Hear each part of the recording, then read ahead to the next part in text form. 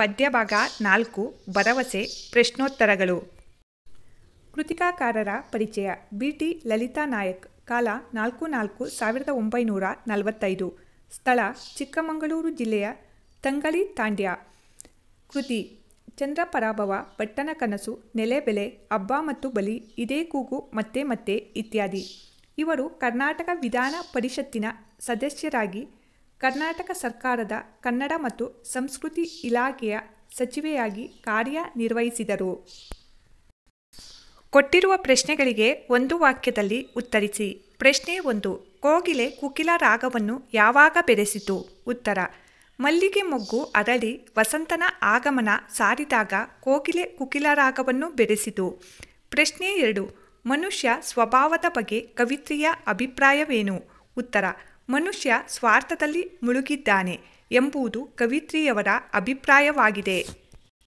ಪ್ರಶ್ನೆ ಮೂರು, ಕನ್ನಡ ಸಾರಸ್ವತ ಲೋಕಕ್ಕೆ ಬಿ. ಟಿ. ಲಲಿತಾ ನಾಯಕ್ ಅವರ ಕೊಡುಗೆ ಏನು? ಉತ್ತರ, ಬಿ. ಟಿ. ಲಲಿತಾ ನಾಯಕ್ ಅವರು ಬಂಡಾಯ ಹಾಗೂ ಸ್ತ್ರೀ ಸಂವೇದನೆಯ ಹಲವಾರು ಮೌಲಿಕ ಕೃತಿಗಳನ್ನು ಕನ್ನಡ ಸಾರಸ್ವತ ಲೋಕಕ್ಕೆ ನೀಡಿದ್ದಾರೆ. ಕೊಟ್ಟಿರುವ ಪ್ರಶ್ನೆಗಳಿಗೆ ಎರಡು ಮೂರು ವಾಕ್ಯಗಳಲ್ಲಿ ಉತ್ತರಿಸಿ. ಪ್ರಶ್ನೆ ಒಂದು ಮಲ್ಲಿಗೆ ಕೋಗಿಲೆಯನ್ನು ಕರೆದು ಏನು ಹೇಳಿತು? ಉತ್ತರ, ಮಲ್ಲಿಗೆ ಕೋಗಿಲೆಯನ್ನು ಕರೆದು ಪ್ರಿಯ ಗೆಳತಿ, ಆಡೊಂದು ಆಡು, ಬಾನಸಂಚರಣೆಯೇ, ಅನುಭವದ ಉನ್ನಿನ ಗಣಿಯೇ, ಲೋಕವಾರ್ತೆ ಏನೆಂಬುದನ್ನು ತಿಳಿಸು ಎಂದು ಹೇಳಿತು. ಪ್ರಶ್ನೆ ಎರಡು, ಮಲ್ಲಿಗೆಯ ಕೋರಿಕೆಗೆ ಕೋಗಿಲೆ ಪ್ರಕೃತಿಯ ಬಗ್ಗೆ ಏನೆಂದು ಉತ್ತರ ನೀಡಿತು? ಉತ್ತರ, ಮಲ್ಲಿಗೆಯ ಕೋರಿಕೆಗೆ ಕೋಗಿಲೆಯು ಮಾನವನು ಸ್ವಾರ್ಥದಲ್ಲಿ ಮುಳುಗಿದ್ದು ಪ್ರಕೃತಿಯ ಸಿರಿ ಮುಡಿಯಾದ ಕಾಡಿಗೆ ಕೊಡಲಿ ಹಾಕಿದ್ದಾನೆ. ಮಣ್ಣಿನ ಸೊಗಡನ್ನು ಮರೆತು ಗೋಡೆಯ ಮೇಲೆ ಕೃತಕವಾಗಿ ಗಿಡ ಬಳ್ಳಿಯ ಚಿತ್ರ ಬಿಡಿಸಿದ್ದಾರೆ ಎಂದು ಪ್ರಕೃತಿಯ ಬಗ್ಗೆ ಹೇಳಿತು.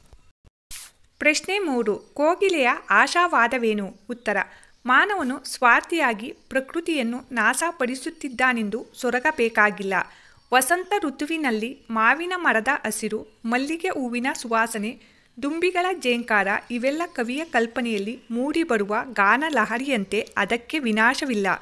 ಈ ಭೂಮಿಯು ಬರಡಲ್ಲ, ಈಗಲೂ ಅಲ್ಲಲ್ಲಿ ಅಮರ ಪ್ರೇಮದ ಒಡೆತ ಅರಿಯುತ್ತಿರುವುದುಂಟು ಎಂಬುದು ಕೋಗಿಲೆಯ ಆಶಾವಾದವಾಗಿದೆ. ಕೊಟ್ಟಿರುವ ಪ್ರಶ್ನೆಗಳಿಗೆ ಎಂಟು ಹತ್ತು ವಾಕ್ಯಗಳಲ್ಲಿ ಉತ್ತರಿಸಿ. ಪ್ರಶ್ನೆ ಒಂದು, ಮಲ್ಲಿಗೆ ಮತ್ತು ಕೋಗಿಲೆಯ ಸಂಭಾಷಣೆಯನ್ನು ಬರೆಯಿರಿ. ಉತ್ತರ, ಮಲ್ಲಿಗೆ, ಪ್ರಿಯ ಗೆಳತಿ, ಆಡೊಂದನ್ನು ಆಡು. ಬಾನ ಸಂಚರಣೆಯೇ ಅನುಭವದ ಉನ್ನಿನ ಗಣಿಯೇ, ಲೋಕವಾರ್ತೆ ಏನೆಂಬುದನ್ನು ತಿಳಿಸು. ಕೋಗಿಲೆ, ಚೆಲುವೆ, ನಾನು ಏನೆಂದು ಆಡಲಿ, ನಿನಗೆ ಏನನ್ನು ಹೇಳಲಿ? ನಾನು ಬಣ್ಣ ಬೆಡಗಿನ, ಮೋಸದ ಮಾತುಗಳನ್ನಾಡುವುದನ್ನು ತಿಳಿದಿಲ್ಲ. ಇಡೀ ಜಗತ್ತು ಕೃತಕತೆಯ ಬಲೆಯಲ್ಲಿ ಸಿಕ್ಕಿಕೊಂಡಿದೆ. ಇಲ್ಲಿ ನೈಜತೆಗೆ ಬೆಲೆ ಇಲ್ಲದಂತಾಗಿದೆ. ಮಾನವನು ಸ್ವಾರ್ಥದಲ್ಲಿ ಮುಳುಗಿದ್ದು, ಪ್ರಕೃತಿಯ ಸಿರಿ ಮುಡಿಯಾದ ಕಾರಿಗೆ ಕೊಡಲಿ ಹಾಕಿದ್ದಾನೆ. ಮಣ್ಣಿನ ಸೊಗಡನ್ನು ಮರೆತು ಗೋಡೆಯ ಮೇಲೆ ಕೃತಕವಾಗಿ ಗಿಡ ಬಳ್ಳಿಯ ಚಿತ್ರ ಬಿಡಿಸುತ್ತಿದ್ದಾನೆ. ಆಗಿಂದು ನೀನು ಸೊರಗಬೇಕಾಗಿಲ್ಲ ವಸಂತ ಋತುವಿನಲ್ಲಿ ಮಾವಿನ ಮರದ ಹಸಿರು, ಮಲ್ಲಿಗೆ ಹೂವಿನ ಸುವಾಸನೆ, ದುಂಬಿಗಳ ಜೇಂಕಾರ ಇವೆಲ್ಲ ಕವಿಯ ಕಲ್ಪನೆಯಲ್ಲಿ ಮೂಡಿಬರುವ ಗಾನ ಲಹರಿಯಂತೆ ಅದಕ್ಕೆ ವಿನಾಶವಿಲ್ಲ. ಈ ಭೂಮಿಯು ಬರಡಲ್ಲ.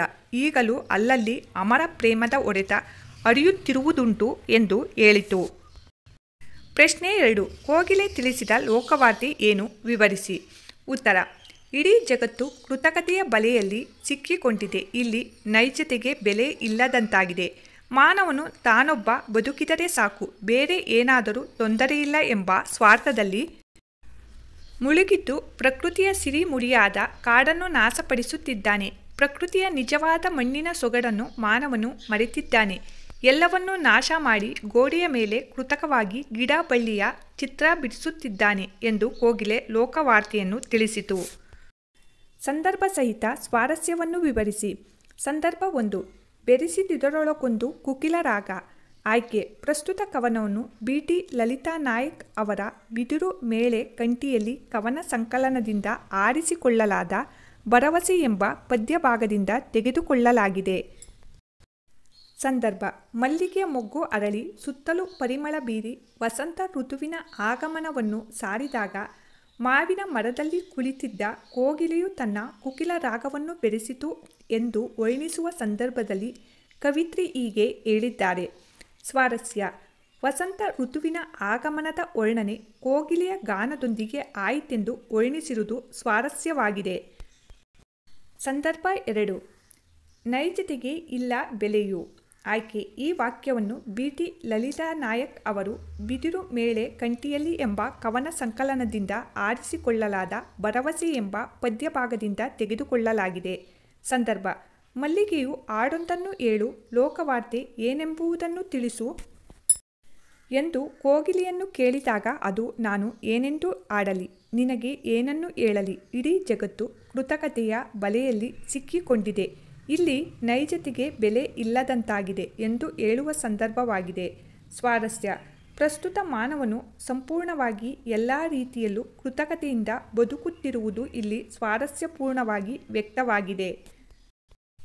ಸಂದರ್ಭ ಮೂರು. ಅಮರ ಪ್ರೇಮದ ಒರೆತೆ ಅರಿಯುವುದುಂಟು ಅಲ್ಲಲ್ಲಿ. ಆಯ್ಕೆ. ಪ್ರಸ್ತುತ ಕವನವನ್ನು ಬಿ. ಟಿ. ಲಲಿತಾ ನಾಯಕ್ ಅವರ ಬಿದಿರು ಮೇಳೆ ಕಂಟಿಯಲ್ಲಿ ಕವನ ಸಂಕಲನದಿಂದ ಆರಿಸಿಕೊಳ್ಳಲಾದ ಭರವಸೆ ಎಂಬ ಪದ್ಯಭಾಗದಿಂದ ತೆಗೆದುಕೊಳ್ಳಲಾಗಿದೆ.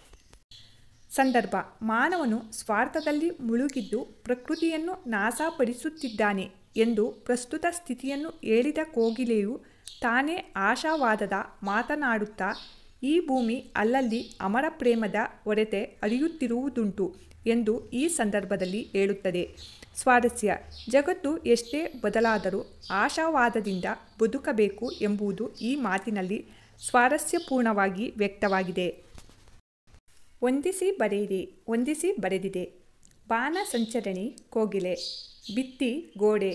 ಭ್ರಮರ ಜೇಂಕಾರ ಕೃತಕತೆ, ನೈಜತೆ. ಗಾನಲಹರಿ ಕವಿ ಕಲ್ಪನೆ. ಪದಗಳ ಅರ್ಥ. ಅರುವು, ತಿಳಿಸು, ಏಳು. ಕುಕಿಲ, ಕೋಗಿಲೆಯ ಕೂಗು. ಕೃತಕತೆ. ಅಸಹಜತೆ, ಮೋಸ. ಚಿತ್ತಾರ, ಚಿತ್ರ. ಜಾಲ, ಗುಂಪು, ಸಮೂಹ. ಪೂರ, ಪೂರ್ತಿಯಾಗಿ.